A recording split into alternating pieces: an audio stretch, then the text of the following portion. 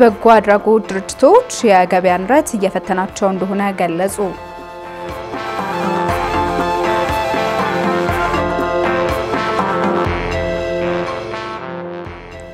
መንግስት በግብርናው ዘርፍ ላይ ታክስ ለመጣል ማሰቡ ተጠቆመ።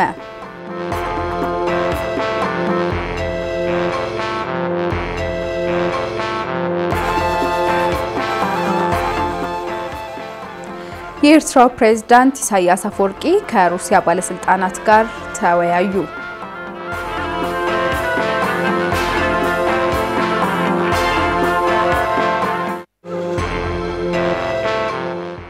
ሰላም ጤና ይስጥልኝ። ውድ ሀገሬ ቴሌቪዥን ተከታታዮች እንደምን ቆይታችኋል? ዕለታዊ ሀገሬ ዜና አሁን ተጀመረ።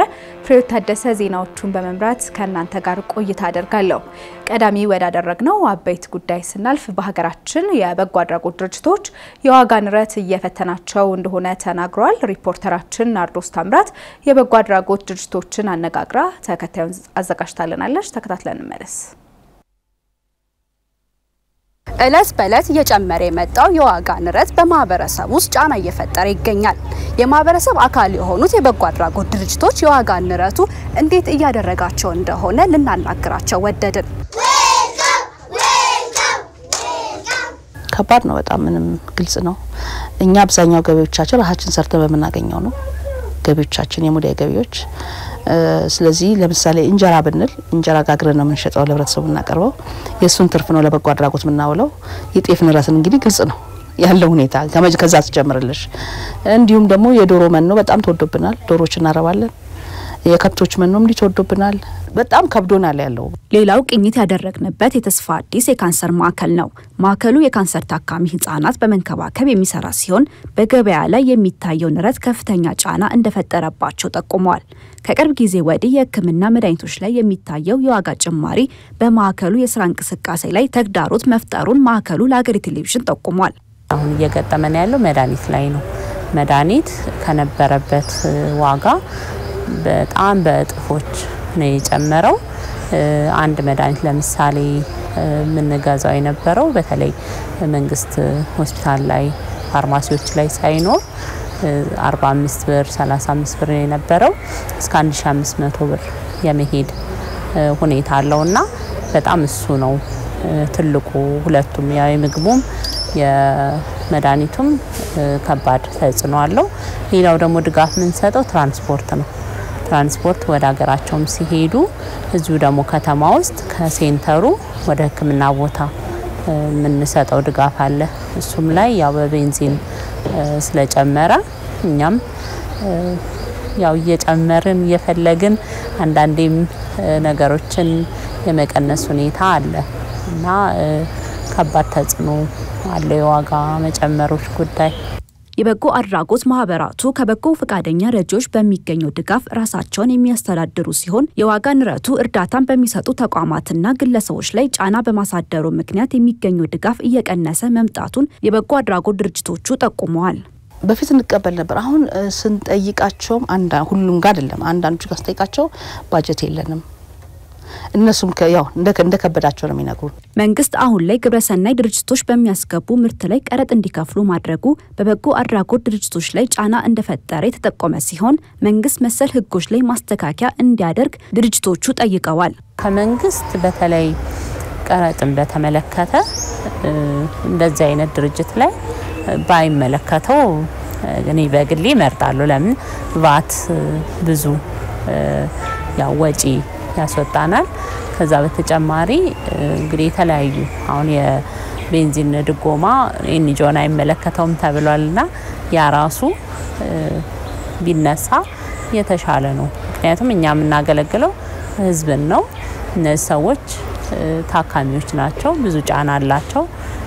ለዚህ ይህንን ደግሞ ብንተጋገዝ የሚል እንትን በተጨማሪ ደግሞ መድኃኒቶች ላይ መድኃኒቶች ላይ ትኩረት ተሰጥቶት በጥሩ ዋጋ የሚቀርብበት መንገድ ቢመቻች።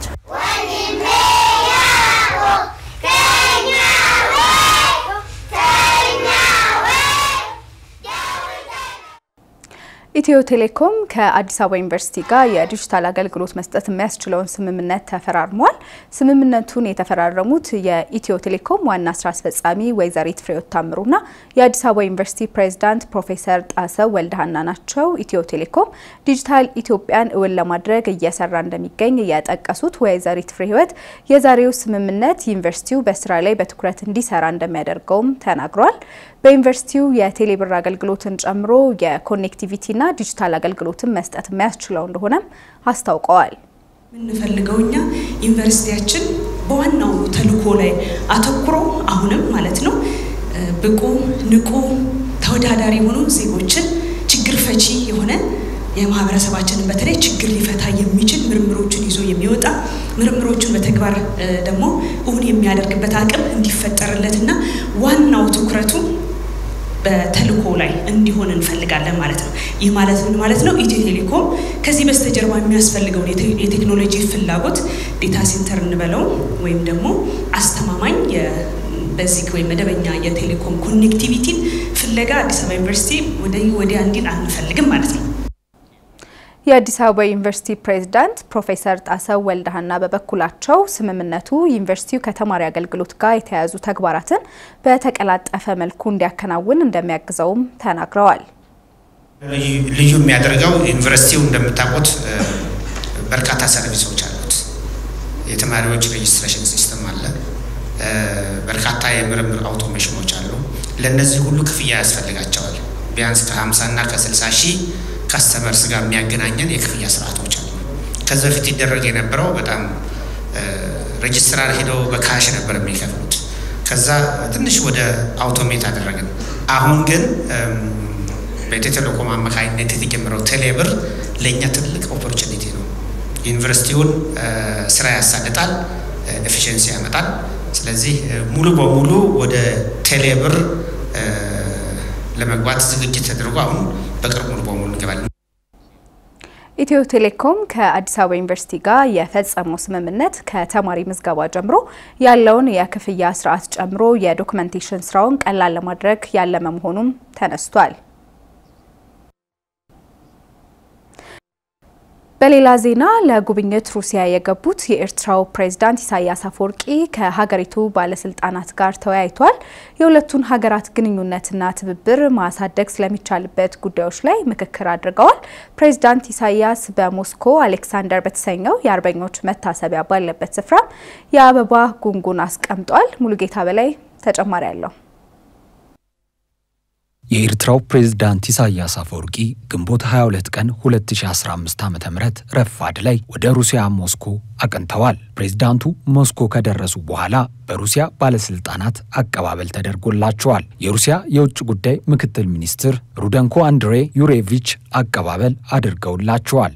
ከቀናት በፊት በቻይና የነበራቸውን ጉብኝት አጠናቀው በጋራ ጉዳዮች ላይ በጥልቅ ለመስራት ስምምነት አድርገው የተመለሱት ፕሬዝዳንት ኢሳያስ አፈወርቂ ከሩሲያው ፕሬዝዳንት ቭላዲሚር ፑቲን በቀረበላቸው ግብዣ መሰረት አሁን ላይ ሩሲያ ይገኛሉ። የኤርትራ ማስታወቂያ ሚኒስትር አቶ የማነ ገብረ መስቀል በትዊተር ገጻቸው ባሰፈሩት ጽሑፍ ጉብኝታቸው ለአራት ቀናት የሚቆይና ከኢሳያስ ጋር የአገሪቱ የውጭ ጉዳይ ሚኒስትር ኦስማን ሳቤና የባህልና ስፖርት ኮሚሽነር አምባሳደር ዘመዱ ተክሌ አብረዋቸው መጓዛቸውን ሚኒስትሩ ገልጸዋል። ፕሬዝዳንት ኢሳያስ አሁን ላይ ከሩሲያና ከቻይና ጋር ጥብቅ ትስስር እንደፈጠሩ ይነገራል። ለዚህ ደግሞ እንደ ጥሩ ማሳያ የሚነሳው በሳምንታት ልዩነት ውስጥ ወደ ሁለቱም ሀገራት በመሄድ ከሀገሪቱ መሪዎችና ሹማምንት ጋር ውይይት ማድረጋቸው ነው። በምዕራባውያን ዓይን የማይወደዱት ፕሬዝዳንት ኢሳያስ ወዳጅነታቸውን ወደ ምስራቁ አዘንብሏል። ከሳምንት በፊት ሲሲቲቪ ላይ ቆይታ ያደረጉት ኢሳያስ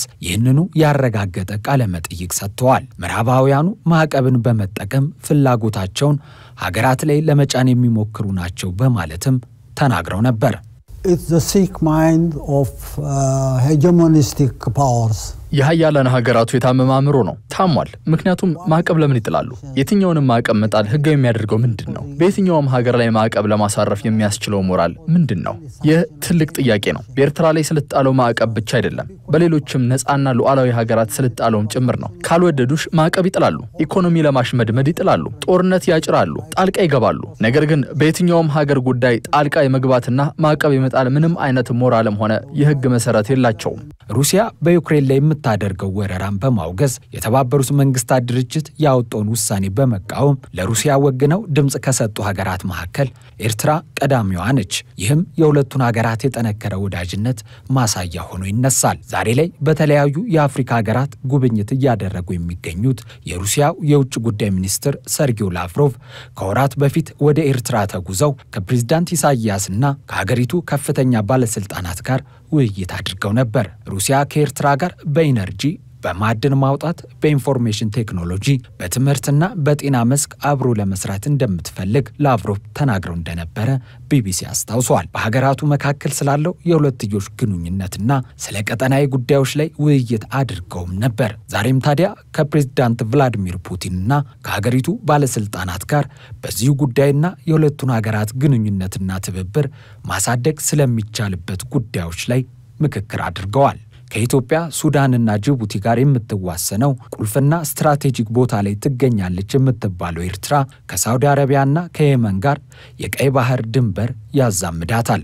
ይቺ ሀገር እስያንና አፍሪካን የምታገናኝ እንዲሁም የወደቦች ባለቤት መሆኗ በርካታ ሀገራት አይናቸውን ጥለውባት ትገኛለች። የቀይ ባህር ከመካከለኛው ምስራቅና ከባህረ ሰላጤው ሀገራት ነዳጅን ከእስያ ደግሞ የኢንዱስትሪ ምርቶች ወደ አውሮፓ የሚተላለፍበት መሆኑ ከኤርትራ አልፎ የአፍሪካ ቀንድ ተፈላጊ እንዲሆን አድርጎታል። አካባቢው ላይ የበላይ ለመሆንና በቀይ ባህርና በኤደን ባህረ ሰላጤ በሚገኘው የባብል ኤልመንደብ ሰርጥ ላይ ወታደራዊ ኃይላቸውን ለማሰማራት የተለያዩ ሀያላን ሀገራት እየጣሩ ይገኛሉ።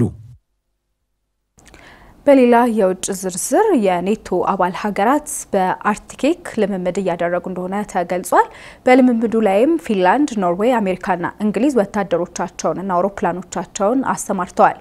ልምምዱንም በቅርቡ የሰሜን አትላንቲክ ጦር ቃል ኪዳን ወይም ኔቶ የተቀላቀለችው ፊንላንድ እንኳን ደህና መጣሽ ለማለት ነውም ተብሏል። ማህሌት አማረ ዝርዝር አላት።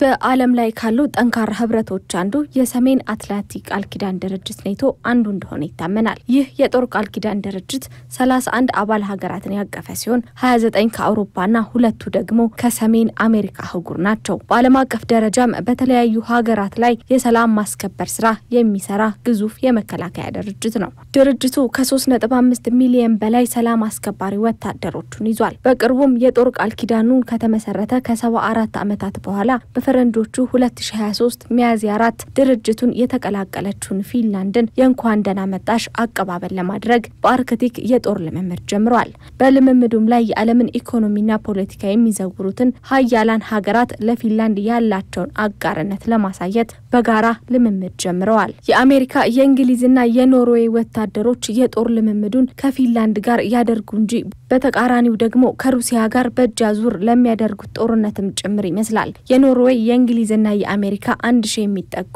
የጋራ የሰላም አስከባሪ ኃይሎች እንዲሁም የፊንላንድ 6500 የሚጠጉ ወታደሮችና ወደ 1000 የሚጠጉ ተሽከርካሪዎች ልምምድ ላይ እየተሳተፉ ይገኛሉ። ይህም የፊንላንድ በአርክቲክ ክልል ላይ ትልቁ ዘመናዊ የምድር ኃይል ልምምድም ያደርገዋል ተብሏል። ዓለምን እንዳሻት መዘወር የምትፈልገው አሜሪካ በዩክሬን በኩል ሩሲያን ለማዳከምና ለማንበርከክ ወዳጆቿን ከጎኗ አሰልፋ በጦር መሳሪያና በወታደሮቿ ጭምር ዩክሬንን እያገዘች ትገኛለች። አሜሪካ ከሰሜን ፊንላንድ ሮቫርጃቪ ውስጥ በአውሮፓ ትልቁ የመድፍ ማሰልጠኛ ቦታ ላይ ከሩሲያ ድንበር በመኪና ሁለት ሰዓት ብቻ የሚፈጀውን እንቅስቃሴ በበላይነት እየመራች የጦር ልምምድ አድርገዋል። የአሜሪካ ጦር ዋና አዛዥ ግሪጎሪ አንደርሰን አገራቸው ፊንላንድ የጠነከረ ሰራዊት እንድትገነባ አገራቸው ሁሌም ዝግጁ መሆኗን ገልጸዋል። ይሄኛው ተግባሯም አሜሪካ አሁንም የሩሲያን ጠላቶች ለማብዛትና የበላይነቷን ለማስጠበቅ አጋሮቿን እያበዛች ስለመሆኑ ማሳያ ተደርጎም ተወስዷል። የስዊድን የምድር ጦር አዛዥ ሜጀር ጀነራል ካርድ ኤንግል ብሪስተን እኛ እዚህ የተገኘነው የፊንላንድ መከላከያን ለማገዝ ነው፣ ምንም አያጠያይቅም። ለዚህም እቅድ አዘጋጅተናል ብለዋል። ስዊድንና ፊንላንድ ባሳለፍነው የፈረንጆቹ ዓመት የዩክሬንና የሩሲያ ጦርነት በተጀመረበት ሰዓት ሁለቱ ሀገራት ወታደራዊ አጋርነታቸውን አጠናክረዋል። ሀያላን ሀገራት ከሚባሉት እስከ ታዳጊ ሀገሮች ድረስ ዲፕሎማቶቿንና የውጭ ጉዳይ ሚኒስተሯን በመላክ ከጎኗ እንዲቆሙ እያስተባበረችም ትገኛለች። ከዚህም አልፋ የሩሲያን ፕሬዚዳንት ቪላዲሚር ፑቲንን የዓለም አቀፉ የጦር ወንጀለኞች ፍርድ ቤት በጦር ወንጀል እንዲከሰው አድርጋ ሀገራትን ፑቲንን አሳልፈው እንዲሰጡ ጥረት እያደረገች ትገኛለች። ኔቶ ከ14 ሀገራት የተውጣጡ 150 የጦር አውሮፕላኖች በአርክቲክ አካባቢ የአየር ልምምድ እንደሚያደርጉም አስታውቋል። ይህም በትልልቅ የአየር ጥቃት እንቅስቃሴዎች ውስጥ ተመሳሳይ የሆነ ልምድ እንዲኖር ያግዛል ሲሉም የጦር ቃል ኪዳኑ የአየር ኃይል አዛዥ ተናግረዋል። ከፊልም እስከ ትልልቅ ዶክመንተሪ ድረስ በስሟ ተሰርተውላታል። ታይታኒክ የክፍለ ዘመኗ ትልቋ ባለታሪክ መርከብ ግንባቷ ተጠናቆ ይፋ የተደረገችው ልክ በዛሬው ዕለት ከ112 ዓመታት በፊት በ1902 ዓ.ም ነበር። የዕለቱን ከታሪክ ትኩረታችን ነው። ሳምሶን ገድሎ አዘጋጅቶታል። እንከታተል። It took three years to build and less than three hours to sink.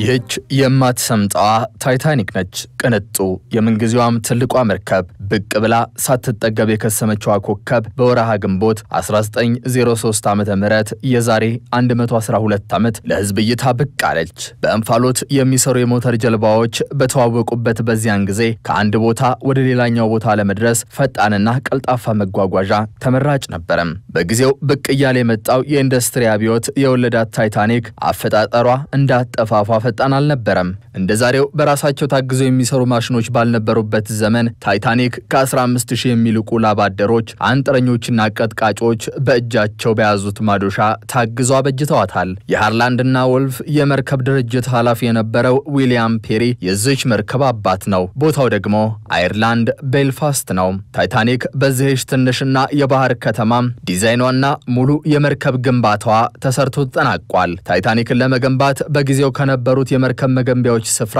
የተለየ ያስፈልግ ነበርና በቤልፋስት የባህር ዳርቻ ላይ እጅግ ግዙፍ የመርከብ መገንቢያ ቦታ ተዘጋጀ። ሙሉ የታይታኒክ ግንባታ ሶስት ዓመታትን የፈጀ ነበረ። ለግንባታዋ 7.5 ሚሊዮን ዶላር ወጪ ለማድረግ ቢታሰብም በጊዜው በነበረው ግሽበት ሳቢያ 200 ሚሊዮን ዶላሮችን አስወጥታለች። የዘጠኝ ፎቅ ከፍታ ያለው ሰዎች የሚያርፉበትና የሚዝናኑበት ክፍሎች በሚገባ ተሰርተውላትም ነበረ። 3300 የሚሆኑ ሰዎችን ለመያዝ እንድትችል ተደርጋ የተሰራችው ታይታኒክ 2200 የሚሆኑት በተለያየ ማዕረግ የሚስተናገዱ የመርከቧ ተሳፋሪዎች ሲሆኑ የተቀሩት 900 የሚሆኑት ደግሞ የመርከቧ ባለሙያዎች ናቸው። ታይታኒክ የአደጋ ጊዜ ማምለጫ ጀልባዎቿ ብዛትም በጊዜው ከነበረው ስታንዳርድ ከፍ ያለ 20 ያህል ነበረ። ነገር ግን እነዚህ ጀልባዎች የመያዝ አቅማቸው በታይታኒክ ላይ የሚሳፈረውን ግማሽ ያህል እንኳን የሚደርስ አልነበረም። 1178 ያህሉን ብቻ ነበር መያዝ የሚችሉት። ከ41 ሚሊዮን ኪሎ ግራም በላይ የምትመዝነዋ 268 ሜትር ርዝማኔ ያላት ታይታኒክ የመጀመሪያ ግንባታው አጠናቆ ይፋ የተደረገችው ከ112 ዓመታት በፊት በዛሬዋ ዕለት ነበረም። በዚያን ዕለት በሺዎች የሚቆጠሩ የከተማዋ ነዋሪዎች በቦታው ተገኝተውም ነበረ። የታይታኒክ አባትና ባለቤት ዊሊያም ፔሪም ፊሽካውን ባሰማበት ቅጽበት ታይታኒክ ለመጀመሪያ ጊዜ በውሃ አካል ላይ ተንሳፈፈች። ታይታኒክ ጅማሬዋም ቢሆን ከፍጻሜዋ ጋር የተመሳሰለ ነው ይላሉ የታሪክ ባለሙያዎች። ወደ ባህር ተገፍታ በተለቀችበት በዚያን ሰዓት አንድ የግንባታ ሰራተኛን ሕይወት ቀጥፋለች። ታይታኒክ የመጀመሪያ ግንባታዋን አጠናቃ ይፋ ከተደረገች በኋላ ቀሪ የመርከቧ የውስጥ ገጽታዎችን የማስዋብና የውስጥ የኤሌክትሪክ መስመር ዝርጋታዎችን ጨምሮ የታይታኒክ መቅዘፊያ ሞተሮቿም ጭምር ተገጥመውላት በሚያዝያ 3 1904 ዓመተ ምህረት 2229 ተሳፋሪዎችን ከ900 የመርከቧ ሰራተኞች ጋር አሳፍራ በአትላንቲክ ውቅያኖስ ላይ ጉዟን ጀመረች። በብዙ ብልሃትና ጥበብ የተሰራችዋ ታይታኒክ ከአራት ቀናት በኋላ በዚያው በአትላንቲክ ውቅያኖስ ላይ ፍጻሜዋ ሆነም። ሀገሬ ዜና እንደቀጠለ ነው። ወደ አጫጭር ዜናዎቻችን እንለፍ። ሀገራዊ ምክክር ኮሚሽን የተቋቋመበትን ዋናውን የምክክር ሂደት በሚቀጥለው ዓመት ለመጀመር የሚያስችል ስራ እየተሰራ መሆኑን አስታወቀ። የኮሚሽኑ ሰብሳቢ ፕሮፌሰር መስፍን አራያ እንደገለጹት ሰሞኑን በተለያዩ ክልሎች የሀገራዊ ምክክር ተሳታፊ ምልመላ ሂደትና አጀንዳ ማሰባሰብ ላይ ያተኮረ ስልጠና ለተለያዩ የህብረተሰብ ክፍሎች እየተሰጠ ነው። ይህ ተግባር በሚቀጥለው ዓመት ወደ ምክክር ለመግባት ከሚያስችሉ ተግባራት አንዱ መሆኑንም ተመላክቷል። Thank you.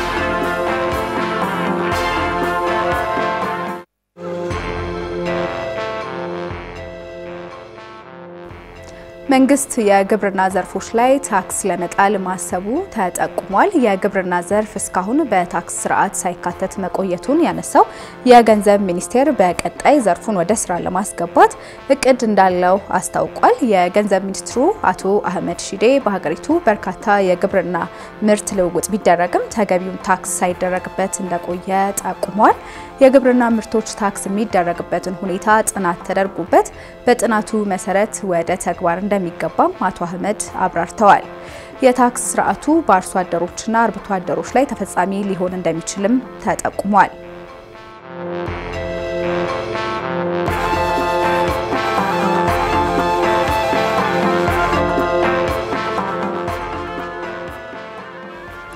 አልሚዎች በስራቸው ላይ አደጋ ሲገጥማቸው ድጋፍ ማድረግ የሚያስችለው መመሪያ መሻሩን የገንዘብ ሚኒስቴር አስታውቋል። የተሻረው መመሪያ በንግድ በተለያዩ ዘርፎች ላይ መዋለ ንዋያቸውን አፍስሰው እየሰሩ ያሉ ኢንቨስተሮች በንብረቶቻቸው ላይ አደጋ ቢከሰት በርካታ ድጋፎችን መንግስት እንደሚያደርግ ይጠቁም ነበር። በሚኒስቴሩ ተዘጋጅቶ ግንቦት 21 ቀን 2015 ዓ.ም የወጣው ባለ ሁለት ገጽ አዲስ መመሪያ የቀድሞ መመሪያ የተሻረ መሆኑን አስታውቋል። በንግድ፣ በኢንዱስትሪ፣ በግብርና ወይም በአገልግሎት ዘርፎች ላይ የተሰማሩ ግለሰቦች ወይም ድርጅቶች በሰው ሰራሽ ወይም በተፈጥሮ አደጋዎች ጉዳት ቢደርስባቸው መንግስት በሚሰጣቸው ድጋፎች እንደማይኖር አዲሱ መመሪያ ይይዛል።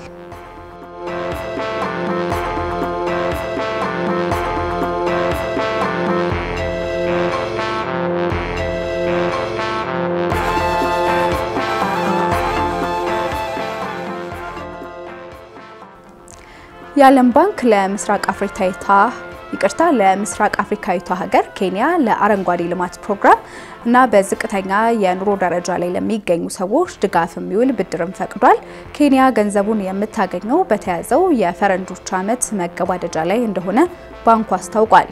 አሁን ላይ እቅዶቻቸውን ለማሳካት እጅ ያጠራቸው በርካታ አዳጊ ሀገራት ዓለም አቀፍ የገንዘብ ተቋማትን ለብድር ቢማጸኑም ብድር የሚያገኙት ግን ውስኑ ብቻ ናቸው ተብሏል።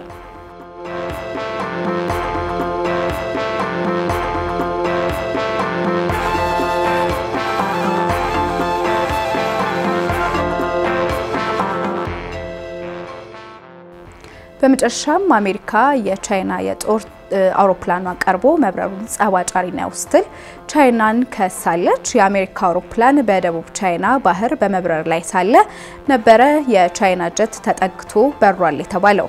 ቀጠናው ስልታዊ ጠቀሜታ እንዳለው የሚገለጽ ሲሆን ዩኤስ ለጉዳዩ ባወጣችው የጽሁፍ መግለጫ አውሮፕላኑ በዓለም አቀፉ የአየር ክልል በሰላም እየበረረ ባለበት የቻይና የጦር ጀት ጄ ሲክስቲ አላስፈላጊ መጠጋት እንደፈጸመ ጠቁማለች። አሜሪካ የኢንዶ ፓሲፊክ ቀጠና ሀገራት በቀጠናው የዓለም አቀፍ የአየር ክልል ሀገራት ዓለም አቀፍ ሕግን ጠብቀው ሊበሩ ይገባልም ብላለች።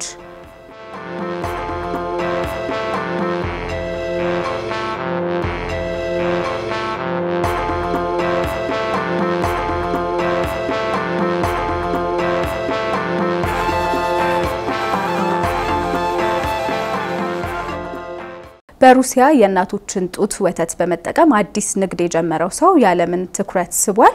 ይህንን እንግዲህ ባልደረባችን ብሩክታይት አስራት አዘጋጅተዋለች። ተከታትለን እንመለስ። የእናት ጡት ወተት ለልጅ ተወዳዳሪ የሌለው አስተማማኝ ጤናማ ምግብ መሆኑ በተደጋጋሚ ይነገራል። ልጆች ከተወለዱ ጀምሮ እስከ ስድስት ወር ድረስ የእናት ጡት ወተት ብቻ መጠቀም እንዳለባቸውም የጤና ባለሙያዎች ይመክራሉ። ዛሬ ስለ ጡት ማጥባት ልናወራቸው አይደለም። ይልቁንም በሩሲያ በሙከራ ደረጃ የተጀመረውና ዓለምን ጉድ ያስባለው እንዲሁም አብዛኛው ዜናውን የሰሙ ሰዎች ይህ ንግድ በአፍንጫ ይውጣ ስላስባለው፣ በሌላ ጎን ደግሞ እንዲህ አይነት የስራ ፈጠራም አለ እንዴ ብሎ ስላስገረመው ጉዳይ ልንነግራችሁ ወደድን። ነገሩ እንዲህ ነው። በሩሲያ ፐርም ውስጥ የሚገኝ አንድ ካፌ አወዛጋቢ ነገር ከካፌው ባለቤት ተሰማ። እሱም የእናት ጡት ወተትን በመጠቀም እንደ ማኪያቶና ካፑችኖ ያሉ ትኩስ ነገሮችን ለመስራት ሙከራ እያደረገ ነው። ካፍቴሪያው የእናት ጡት ወተትን ለማግኘት በፐርም ከተማ የተለያዩ ፖስተሮችን መለጠፍ ጀምሯል። ከቀናት በኋላ አንዲት ሴት ፈቃደኛ ሆና ተገኝታለች። ጡቴ ውስጥ ያለው ወተት ብዙ ነውና ከልጅ አልፎ ለዚህ ሱቅ በቂ ነው ብላ በማመን የጡት ወተቷን ለመሸጥ መስማማቷ የበለጠ ግርምትን ፈጥሯል። እናትየዋ ስትጠየቅ ልጄ አሁን ላይ የተወሰኑ ቀለል ያለ ምግቦችን ጀምሯል። የጡቴ ወተት ብዙ ስለሆነ ለዚህ ካፌ የተወሰነውን እሸጣለሁ፣ ለእኔም ተጨማሪ ገቢ ነው በማለት ተናግራለች። የካፌው ባለቤት በእናት ጡት ወተት የተሰራ ማኪያቶ ሽያጭ 650 ሩብልስ ወይም 8 ዶላር እንደሆነ ተናግረዋል። የማስታወቂያ ቪዲዮዎችን በመስራት በተለያዩ ማህበራዊ ሚዲያዎች አሰራጭተዋል። ቪዲዮ ከተለቀቀ በኋላ ከዓለም ዙሪያ የተለያዩ አስተያየቶችን እያስተናገደ ነው። አብዛኞቹ አስተያየቶች ግን ድርጊቱን የኮነኑ ስለመሆናቸው የሀገሬው ብዙሃን መገናኛዎች አመላክተዋል። የሩሲያ የምግብና መድኃኒት ቁጥጥር ባለስልጣን ግን በጉዳዩ ላይ ዝምታን መርጧል።